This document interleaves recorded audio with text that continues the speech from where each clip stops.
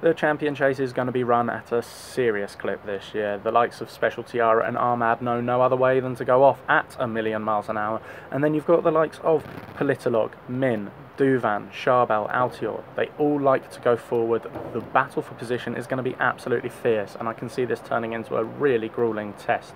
The ones that I can see are most likely to cede slightly in that battle for position is Altior simply because Nico de Boinville will feel he is on the best horse in the race and he can afford to make that move.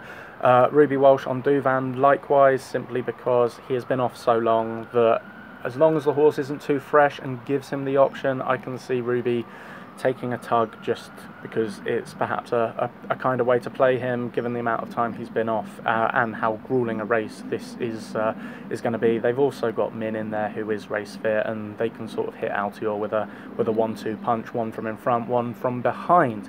Um, this all leads to two possibilities really with such a ferocious gallop and that is that there is either a complete pace collapse and something comes from the clouds to uh, to swoop, I'm not sure I can see that happening just because of the class of the horses involved in this. So that means it's going to turn into a bit of a battle royale a la Sprinter Sacre when he regained the uh, champion chase crown, and uh, it's it's going to kind of be a, a, last man standing over over two miles. Stamina is really going to come into play here, especially on this testing ground, and it's going to be a case of who can keep going at that pace the longest.